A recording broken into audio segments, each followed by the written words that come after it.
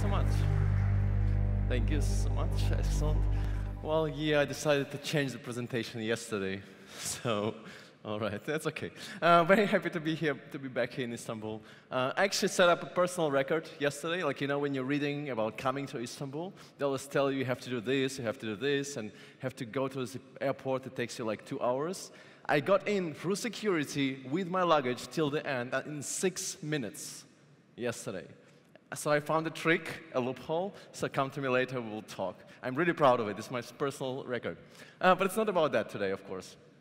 Now, I do want to talk about responsive design, and I think that this is something that most of you are, well, maybe not struggling, but don't quite know what to do with it. Um, now, my name is Willy, and I'm co-founder of Smashing Mag, which is an online magazine for designers and developers. Uh, and most of my time is spent actually editing and writing articles, but approximately 40 to 50% is spent in consulting, kind of working on projects with clients, trying to solve responsive design problems. Um, I'm a lazy person, and I like to be able to rely on existing solutions, but I also like to be able to grow on top of existing solutions. Which is why the talks I'm trying to give are not about you know, this kind of traditional view of how responsive design looks like. If you ask somebody what responsive design looks like, it's a set of boxes, basically, right? Where you have one design, and one code base that adjusts itself automatically according to you know, whatever screen size you're using. But I think we have to move beyond that because it's not really about boxes. It's way more complicated than that. It's really not about trends, parallax or no parallax, whatever. It doesn't really matter, right? It's also not about frameworks, right? We could use frameworks, we could not use frameworks. It's really not so important. What's more important is, of course, techniques how can we make the user experience better for our users? Patterns, right? And more specifically, little things like experiments, which I like a lot. So some of the things you're going to see today, you, are not, you will not be able to unsee. I don't take any responsibility for what happens next, right? Uh, but I really want to show them because I think that this is what we need to be doing more. Now, in order to get there first, we need to see what the design process looks like in general in responsive framework. Now, I think that this quote really hits it on the nail on, the, on its head. The design process is weird and complicated because it involves people and organizations which often are weird and complicated. Uh, I'm not sure about Turkey, totally true in Germany, totally true.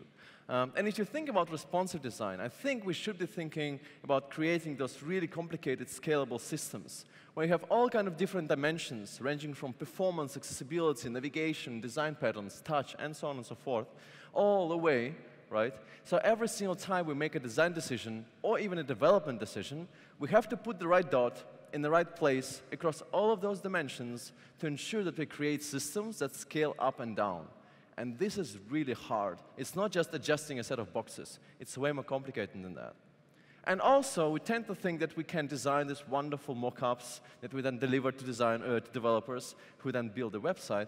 The problem is that we have a lot of different states that we have to design. If you look at the user interface stack, right, obviously we have this ideal state at the bottom, which is what we're designing most of the time, right? But at the same time, we have to consider the error state, the partial state, the loading state, and the blank state. And it's very interesting because the landscape changes. The blank state doesn't have to be empty anymore, right? We could be using offline technologies like service workers to make sure that users can access some content even if they're offline, right? The partial state doesn't have to be broken. We can progressively enhance even if JavaScript isn't loaded yet or isn't loaded properly, right? We can even style broken images if we wanted to, right? And the ideal state is not necessarily ideal state because you know, users might be using browsers that do not support certain features, like Opera Mini doesn't not supporting web fonts, right? So this is the ideal state, but I mean, we have to, it's kind of a different, it looks different on different machines. Now, I think that we tend to spend a lot of time thinking about generic solutions for generic problems, right? And we have this kind of understanding that we have to follow the best practices. And I would tell you to break all the good old practices. Just try something entirely different. Because it's getting old, right? We all heard this. You should not define the line height in pixels. You're not supposed to do that, right? So this is not a good practice. Or you should not base the breakpoints on device sizes. You should not do that. This is not a good practice. Or you should not take the name of the Lord performance in vain, right? Things like that. It's all over the place, and everybody's talking about best practices. And everything is talk everybody's talking about what you should do, what you should not do. So try next time to do things that you're not supposed to do and see what happens next. Because every single time I run into a problem when I have to design something, this is how it goes. You want to build something and you think, oh, maybe it's nice to have a navigation and you know, you have a, you know, you start with desktop and you look into what, what's going to work and what's going, not going to work. And at some point you realize this is where audio should kick in, right? That you should not start designing with desktop. You should start designing with mobile, right? All right, so then you actually go ahead and design mobile, and then you know how it works. You have a little screen, then you put your, whatever, you have to put your navigation in, so you put your hamburger icon in, but then you realize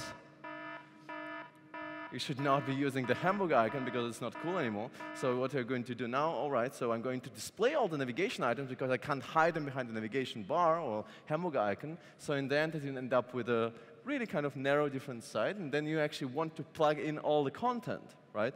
And then you realize, well, that's kind of difficult because you know I, I, will be able, I will have to put all of this content, and the most important thing, or some important things, are going to be at the bottom. So I cannot use, you know, put icons below the fold, so I should change it now, all right? So you know where it's going, right? So I have to plug it in somehow, so one of the good, better patterns is to use a carousel, and the carousel, of course, doesn't have a good reputation, I think, right? So in the end, you end up doing this. This is your design process, right? This is your design workflow, which doesn't really feel right. Um, I hope that the screen is going to work soon. Um, but it doesn't mean that we should be doing something entirely different. Oh, all right, no slides. All right. It doesn't mean that we shouldn't be doing anything like that we should not be following the, the best practices. Maybe we should, but it's really good idea to actually keep breaking it as well.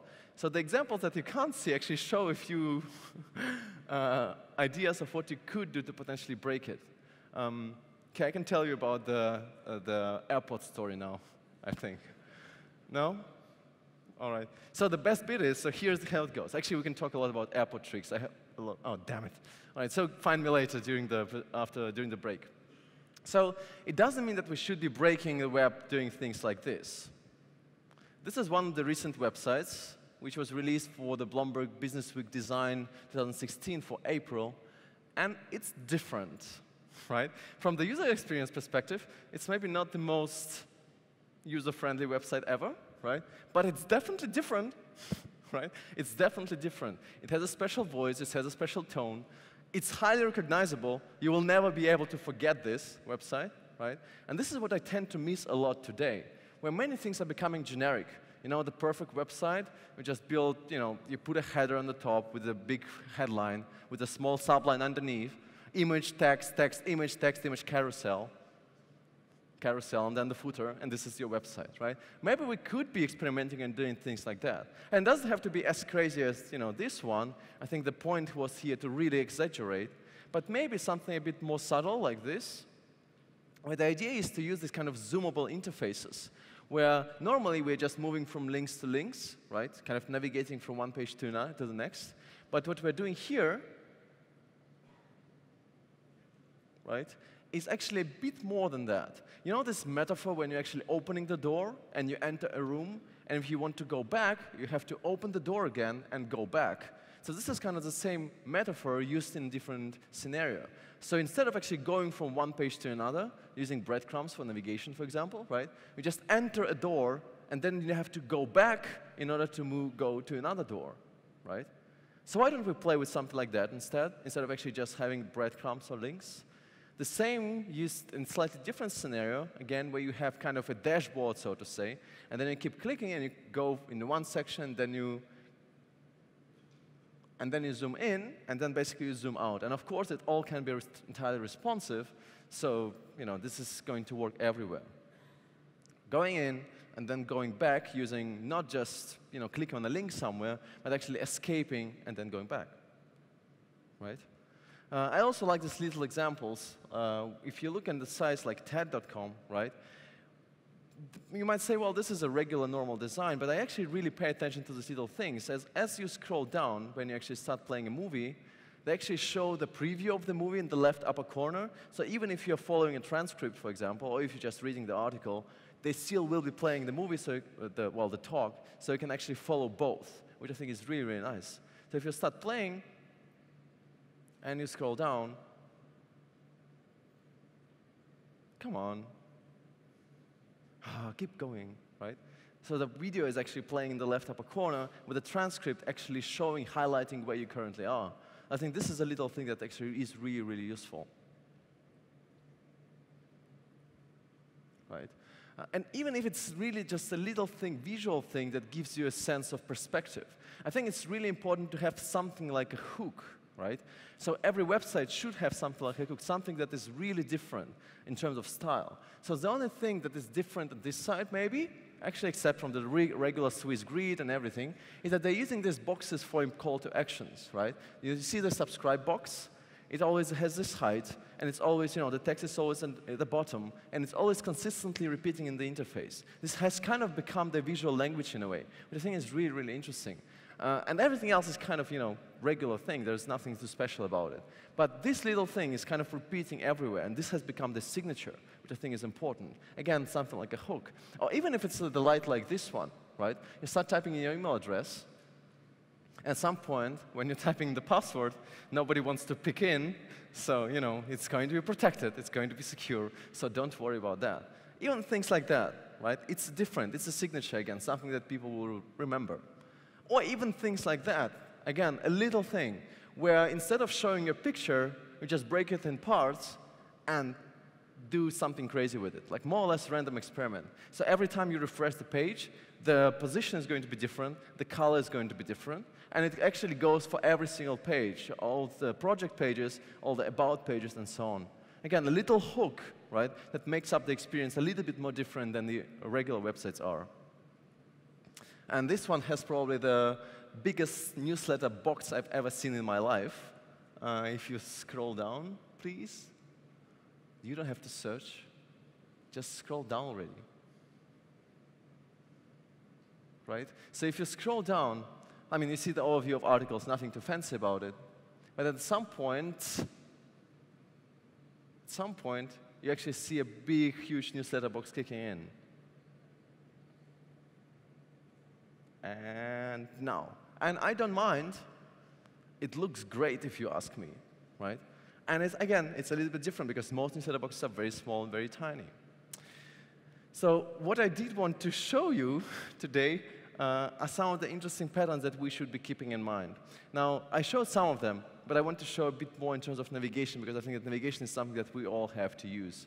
And we will discover more in my workshop if you happen to come to my workshop uh, on Friday, I think. So this is everywhere. The Hamburg icon is everywhere, right? Everybody's using it. You can find it all over the place. Now, the problem is, should we be using it or should we not be using it? Because some people, you know, some tests show that they're not as recognizable as widely accepted menu buttons. Well, it doesn't matter if you ask me. Use the menu button, use the Hamburg icon. If your audience knows what it is, that's what matters most. However, when you use it, be it a menu button or a Hamburg icon, make sure that you actually pay attention to how you use it. Because the way you implement it is really, really important. So here, can you spot any problem? I can go back. Can you spot any problem with the hamburger icon or the navigation interaction pattern here on StarWars.com? Now, one problem that we encounter a lot is people have two scenarios when they actually try to visit the site or browse the site. First, they click on that icon, and then they actually see the options that they, you know, where, the sections where they can look at and then navigate.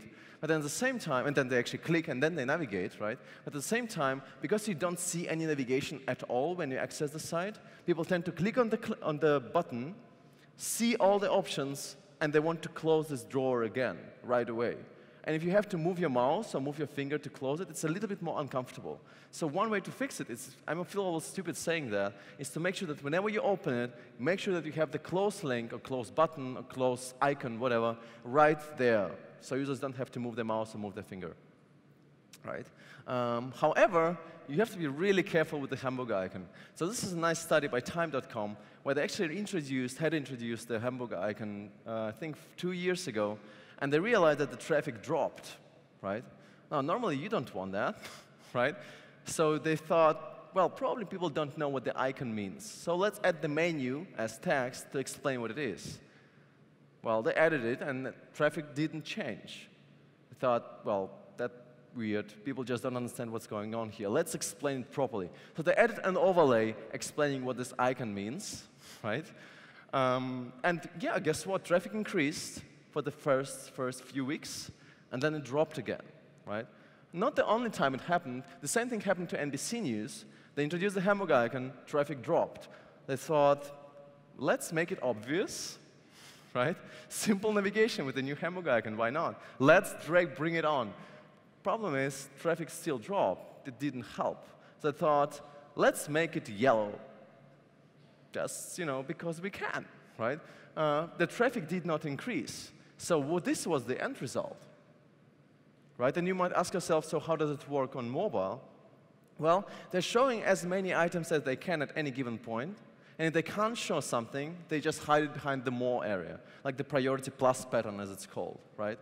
So they show as much as you can, and if you can't show it, you hide it. Because you always have this uncomfortable range where you could be displaying something, but you don't display anything because you can't display everything, I think, right? And why?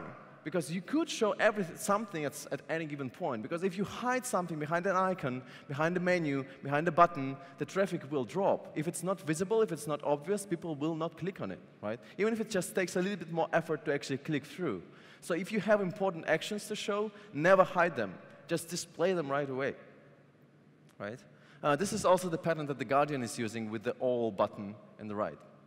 Uh, and it's also important to keep in mind how we're using mobile devices, right? So if you think about it, the most convenient um, input device is our finger or our thumb, to be precise. This is what most people are using when they're interacting with a mobile device. So if you have a mobile phone, it's very rare that you will be using uh, orientation, like the landscape orientation, when reading an article. It's, this is the posture. This is how you're actually accessing the site, or actually like this, but it doesn't matter. Right?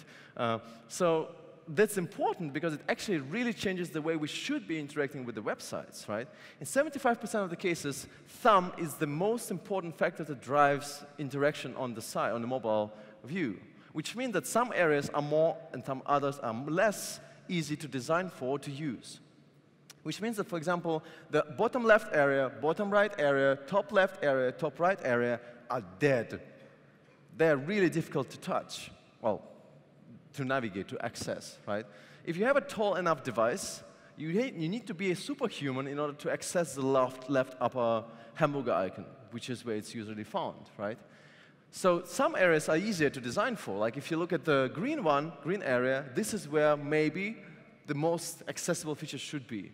However, you should not think that you should be putting the most important things, like the delete button, in this green area because you don't want people to click on it accidentally all the time. You don't want it to be too easy to use, right? So you probably want to put the delete button maybe in here, or maybe somewhere in the yellow area, but not in the green area. But the most important things, like the, if the navigation is being used a lot, then it probably should be in the green area. Again, not bottom left, not bottom right, not top left, not top right, which really changes the way we interact with the you know, mobile devices. Uh, tablets, the other thing, right? As it turns out, we're using tablets differently. So it's not like we're running with a tablet like this all the time, just looking at the tablet. It's like we're using tablets when we're lying in bed. And when we lie in bed, we have a significant problem, which is our belly. So we have this real weird phenomenon that we cannot, uh, we cannot easily access buttons at the bottom of the tablet, right here, right? Just because it's, we have our bellies that you know, cover it. So which is why the better areas to design for are on the left and on the right on tablets, right?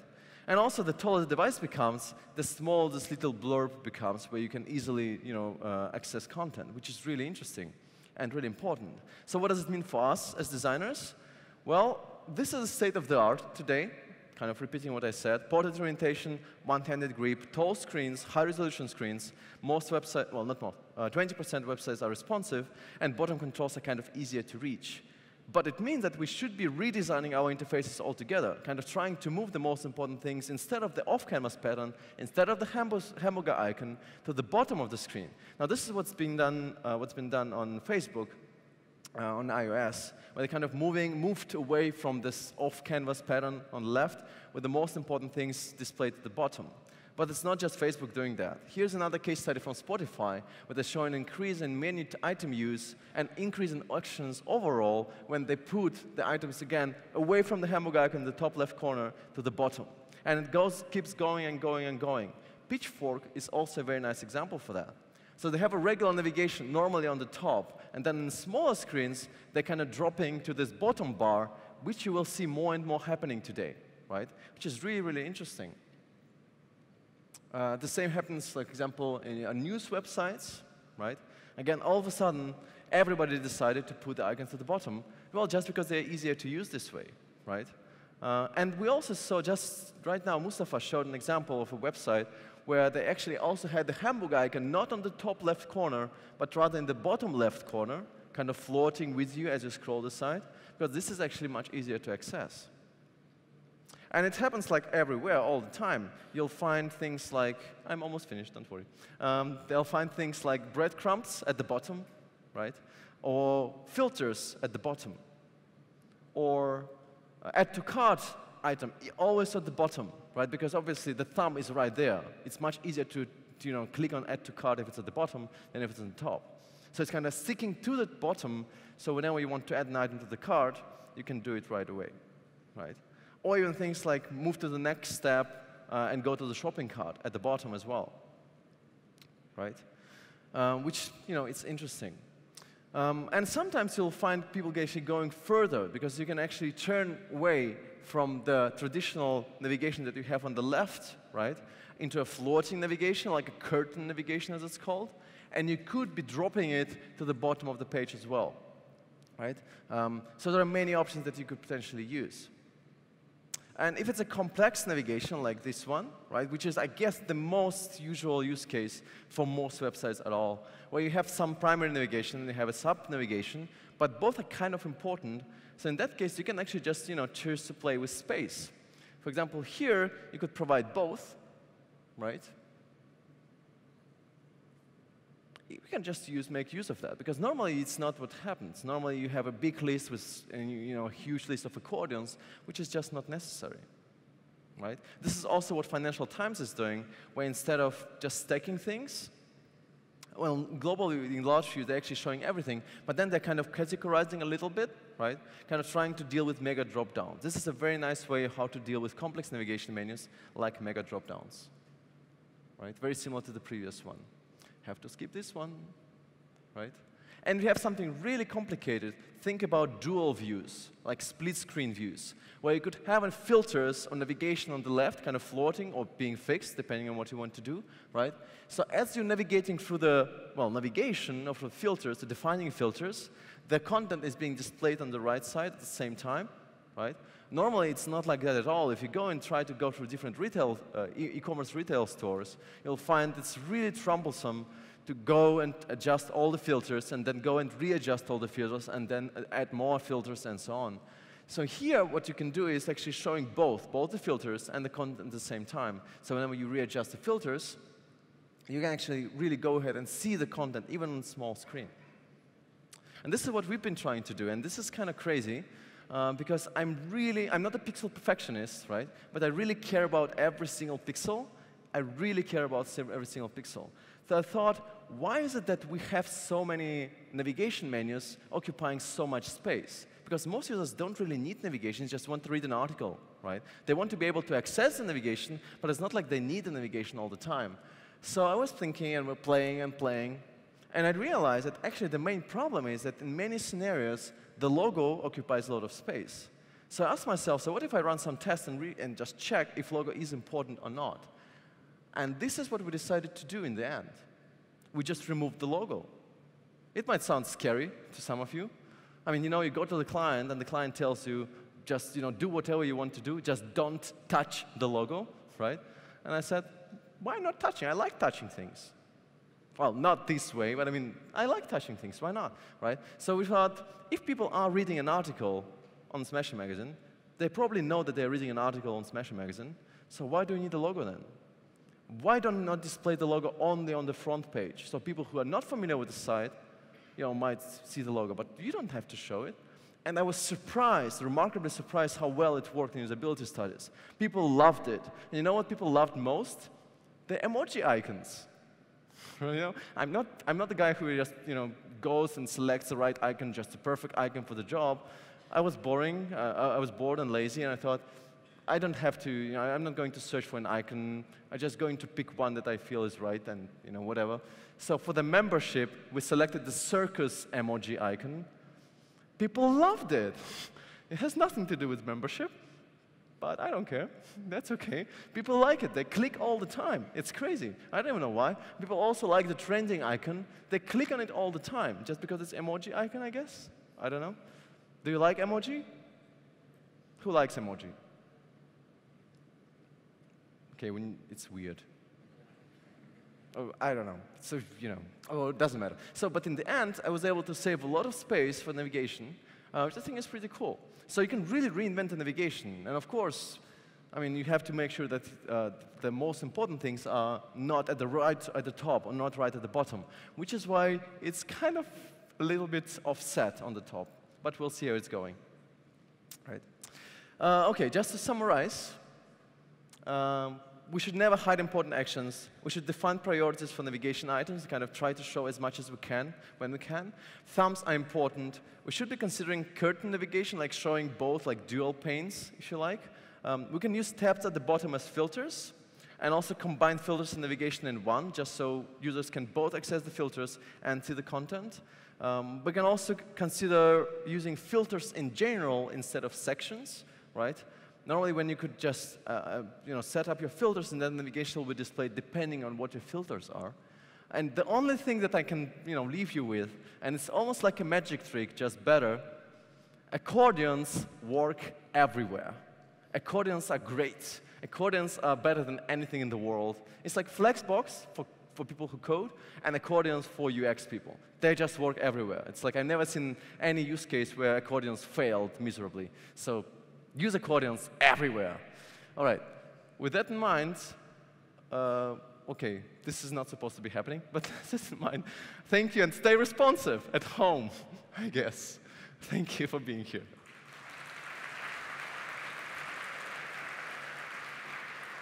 All right.